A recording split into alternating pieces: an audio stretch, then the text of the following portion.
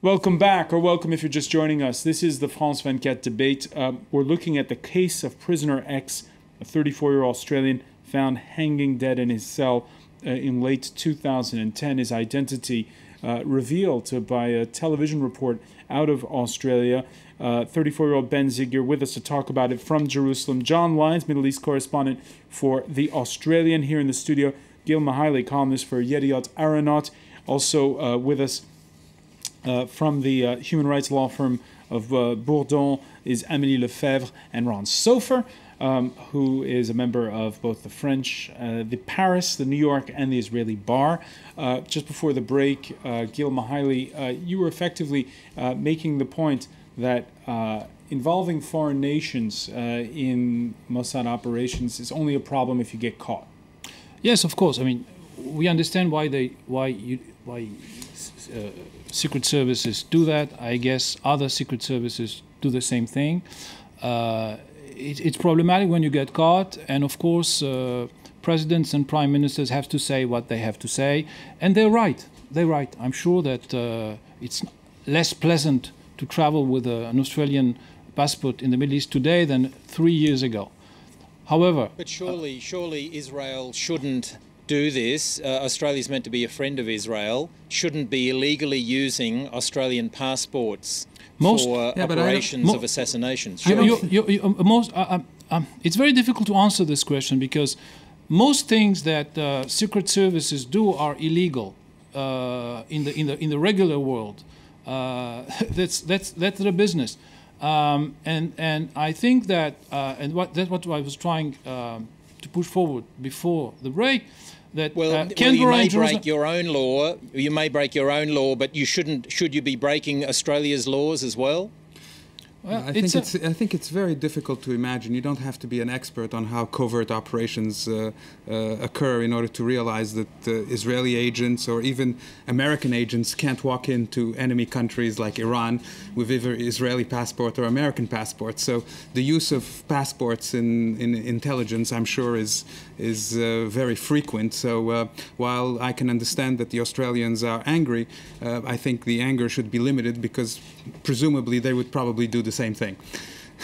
But Australia has asked Israel not to do this before. This is the third occasion now, although the case of Ben Zygier is different from the Dubai operation because that was when passports were simply uh, fabricated or stolen of existing Australian citizens, whereas in this case, Ben Zygier obviously decided willingly that he was going to join Mossad. And it was prior to the uh, Australian request because he joined Mossad many years ago before the Dubai incident. But even if even so, I, I, I accept uh, your objection entirely.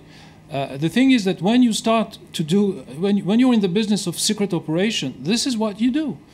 You take risk. And there's another thing that we didn't mention here, which is a problem uh, in Israel the use of Jews uh, with the risk of uh, the double allegiance uh, behind it. I'm, su I'm sure that Australian Jews are very embarrassed today because Australians tell them, hey, who are you, who are you working for? Not to mention Australians, Iranian Jews, Israelis, perhaps, who are much more exposed. Sorry? Not to mention Iranian Jews, who are much more exposed than is uh, than than Australian ones in Iran. Why? How so?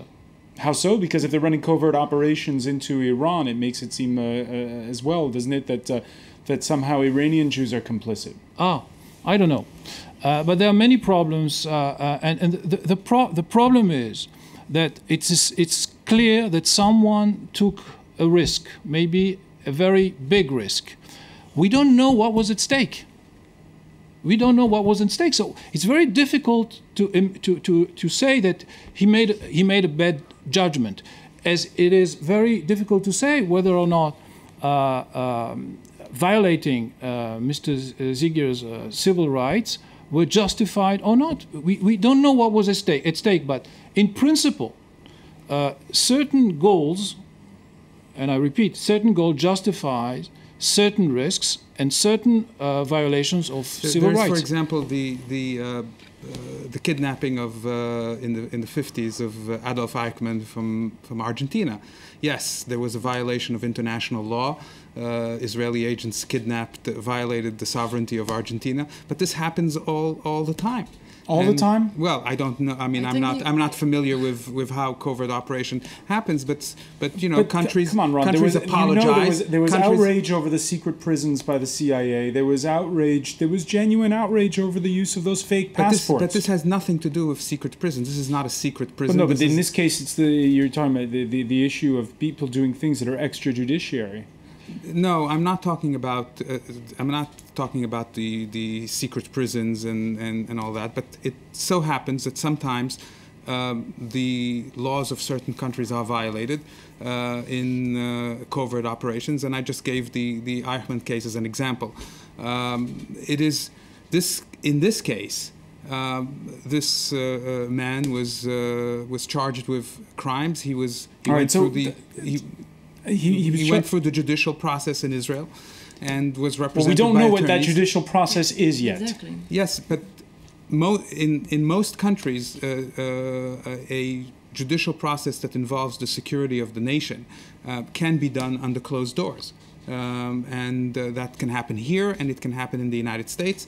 Uh, that's one of the reasons why. Annie in- Lefebvre, can it happen here? Can it happen in Well, France? I, I just I just have one remark first. I think the Eichmann case was very specific to the after-war, and and I, I hope that we will never have another case like this where such just justification and it, it also provoked outrage at the time. But it, it, I mean I mean it's it's not comparable to what's happening today for, for me. That's my opinion.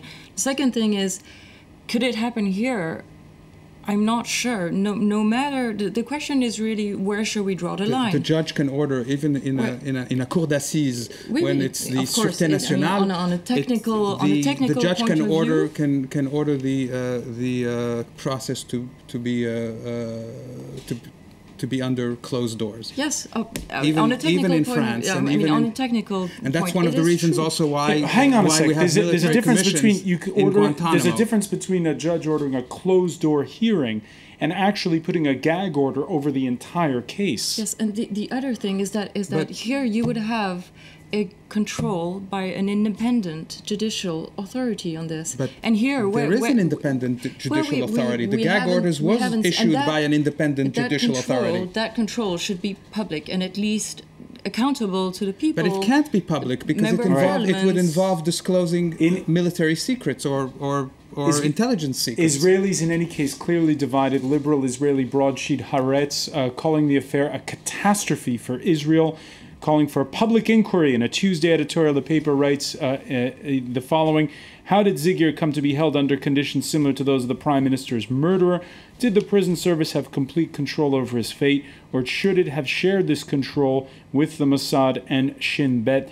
J- John y- in Israel itself, where you are, uh, how would you get? Have you gotten a feel for what public opinion is like? Do people want to know more, or do they think that uh, uh, the uh, the way it's been handled is the right way?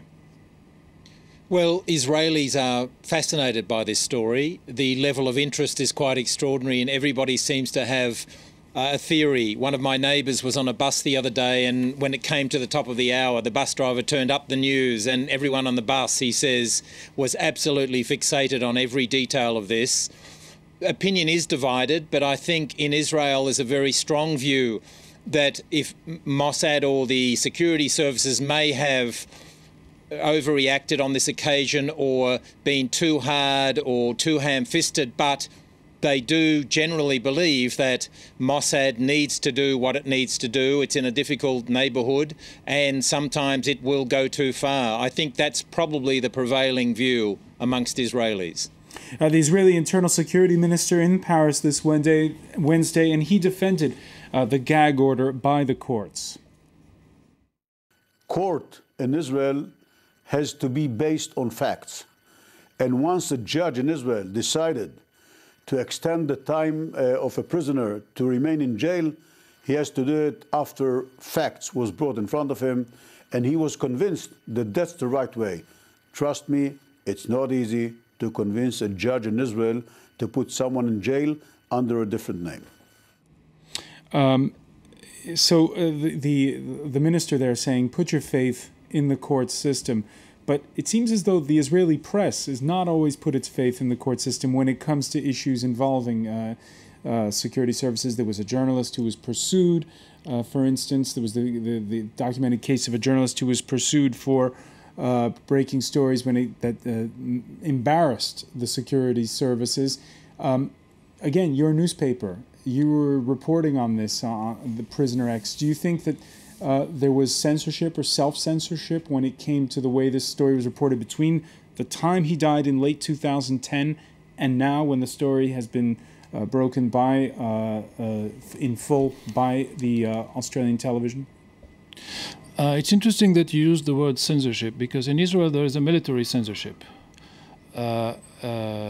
it's part of the military and the Ministry of the Defense.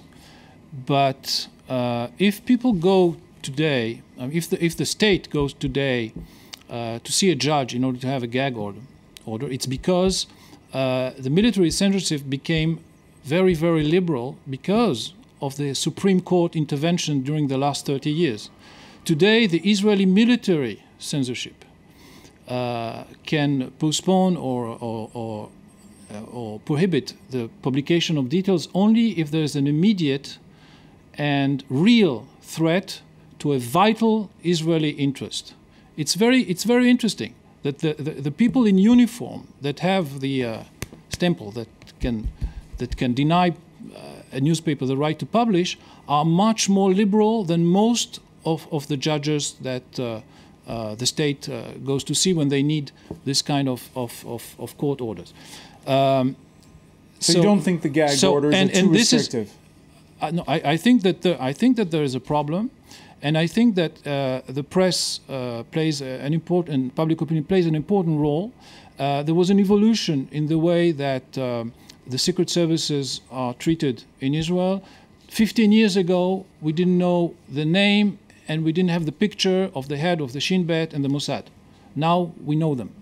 Uh, uh, 25 years ago, uh, Avi Dichter, when he was in the Shin Bet, and his friends uh, used to tell uh, uh, a certain version of the truth to judges for many for a long time, and everything went okay until a huge scandal in the in the 1980s. It's called the bus number 300, and things change radically.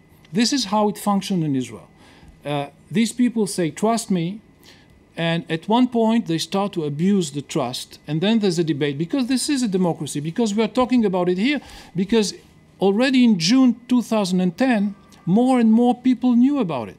The fact that it's not published, it doesn't mean that there are not tens of journalists, uh, members of the Knesset, judges, people that call each other, officers, hundreds, thousands of people. Avigdor Feldman, he's, a, he's, a, he's, a, he's an eminent uh, civil rights lawyer. Uh, many people were, I'm not saying that it can replace full publicity, but there has to be a compromise, and I think that one of the the way Last out of week this. There were some calling for, uh, if I get this correctly, uh, censorship or reprimands for members of the Knesset who evoked the case in Parliament, even after and who, the Australian and, and television get, had talked who, about who it. Who said, "On my dead body"? General Fuad Ben Eliezer, former Minister of Defense, a general because the, the, after the yeah, election. After is, I'm sorry. Uh, this is uh, Imagine if a member of the Select Intelligence Committee in the United States uh, went up to the te- Senate floor and disclosed everything that was said in, in closed doors in the Select Committee. That's but in this that's, that's something, and, and, and the debate was whether a member of the Knesset who receives information uh, can use his immunity and uh, disclose uh, secret information um, during the debate on the Knesset? That was the question. John uh, Lyons, uh, exactly. John Lyons, in the case of uh, uh, of that debate that took place in the Israeli parliament last week, was the secret already out? Well, I think this is a bit different from someone going and disclosing something said in a secret committee. Exactly. This is they were saying something that had been broadcast on Australian television mm-hmm. And was all over the internet around the world. And I think that um, what we've seen in the last week is that Israel's strange form of military censorship uh, is now becoming more and more irrelevant with the internet. Um, and I think they're having to wrestle with that. um, and this week has shown that's the case. All right. So the internet changes, uh, changing, of course, uh, as we've well. Been, we've been hearing hear, we've been hearing that for 20 years. Uh, it's less and less effective, but uh, it's still a little bit effective. You can you can win some time, and had it not for the, for, for, for this court order, uh, this thing would be out three years ago, and we don't know what would have missed during the three years. They had the time, maybe. Uh, to close the the, the, the, the Milanese society and create another one, to, to pull out people Sometimes you, all you need is 48 hours. I just it's, it's, it's, important to note, and I read this in, in, in the uh, newspapers today, that uh, an inquest was headed by a very prominent Israeli judge, looked into the circumstances in which uh, this man committed suicide, and she found uh, no uh, wrongdoing. She said that there might be negligence, uh, but she didn't. There was no. Um, uh, she, she, did not find that there was any external intervention in the um, in the uh, suicide of this uh, of this gentleman. That's what she found. Yeah. Uh, but as John Lyons was saying at the top, he's still asking for for for more proof of that. Uh, John, where does this story go from now? We, because as you said, it's the third time that the Australian government has a, a run-in with the Israelis. Well, I think um, the Israelis will be extra careful now. I think in terms of Australia, because Australia is has been a long-time friend uh, at a government level of Israel, and that's the line that is that Australia keeps saying to Israel: "We are a friend of yours. You should not do this to us." Where it goes, though, is I think inside Israel there will be a a serious examination of Mossad and how it operates and what it does, because this is also a failure of Mossad that um, they did recruit this person. He was in their system. And I know Gil said earlier that he was probably lower level.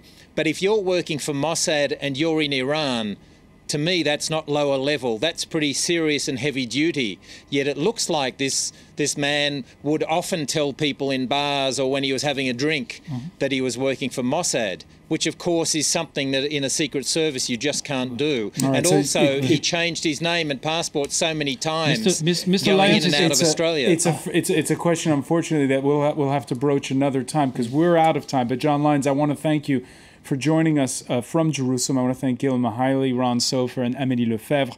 Thank you for being with us here in the France 24 debate.